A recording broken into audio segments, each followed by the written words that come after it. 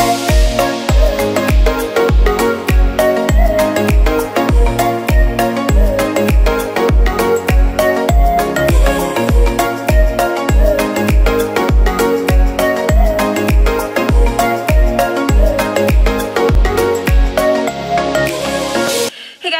back to my channel. So today I'm going to show you how I got to this big voluminous braid right here. I had a lot of requests from my uh, favorite face brushes video to do this braid.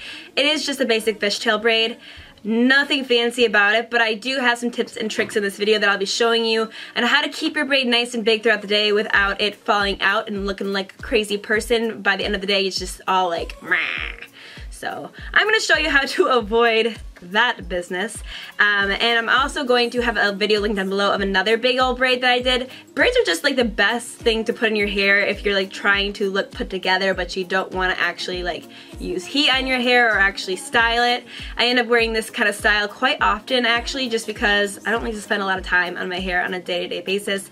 When I'm going out with my girlfriends or something, I'll spend quite a quite a long time on my hair because I enjoy doing it, but like on a day-to-day -day basis, Either I'll find some sort of way to throw it up so I don't have to actually do it. So if you guys would like to see how I got this big voluminous braid and how to keep it like this all day, then please keep watching.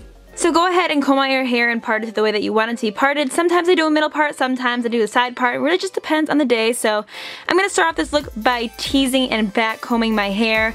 You don't have to do this if you want to be more of a sleek ponytail, but I like a little bit of volume. I like my braid to be a little bit messy. That way you don't have to really focus on making it look so perfect. So I like to back comb my hair, but once again, feel free to skip it if you don't like, you know, back combing your hair.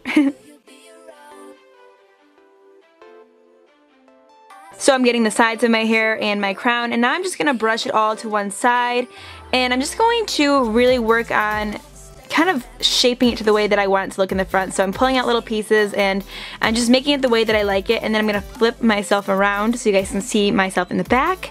And I'm to just twist everything off to the side. You don't have to do this step either, but I think it adds a little bit of extra pizzazz to the look. I think it makes it look a little bit more put together. So I'm just twisting the back of it and I'm going to bobby pin it into place.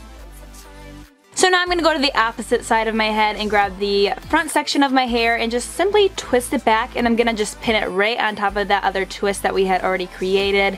You can see my bobby pins but I pushed them down towards the end so don't look at those but yeah if this is too much for you though if it's just too much jazz you can totally skip the twist and just go straight to the fishtail.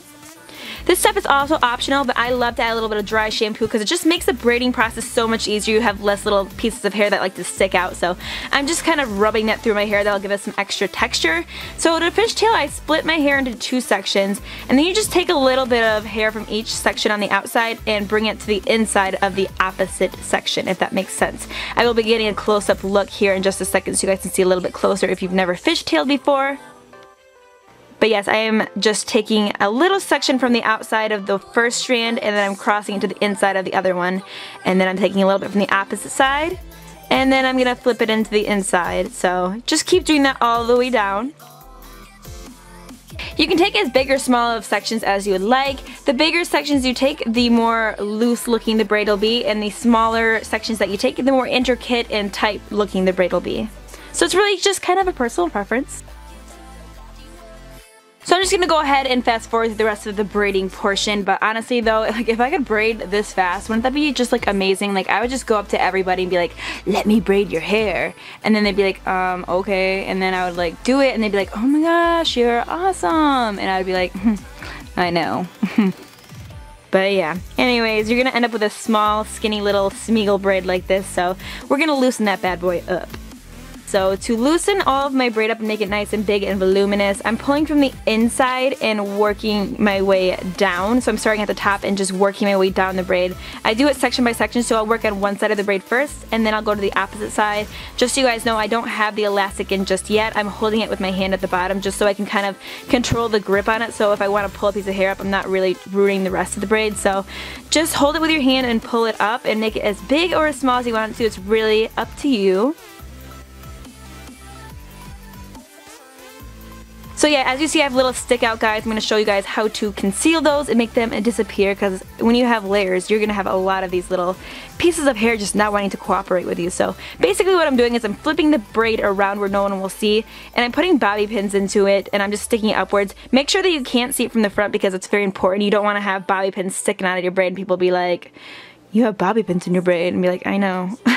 But yeah, I don't know. Anyways, so I'm just taking the little pieces of hair that are sticking out from the front and pinning them behind the braid. No one will see this part. If you want to go back and make it more perfect, that's fine, but you know, no one's going to see it, so it really doesn't matter. So just go ahead and pin back any little stragglers, anybody who does not want to cooperate with you.